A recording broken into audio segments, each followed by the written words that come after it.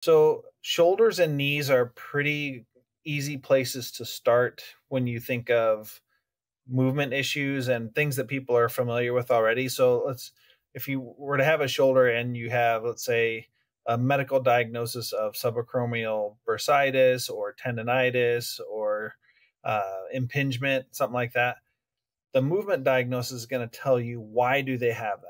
So we're going to look at scapular rotation, anterior posterior tilt.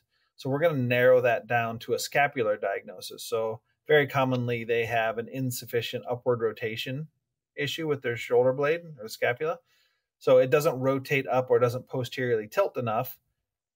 And then therefore you get impingement. So we're not changing the medical diagnosis. We're just applying a different kind of diagnosis. So then the treatment then is, oh, well, let's get the shoulder blade to move better, whether that's a stiffness issue or a strength issue or motor control issue or just a habitual postural issue or whatever. We fix those components to make the subacromial de- subacromial pain, impingement, et cetera, go away.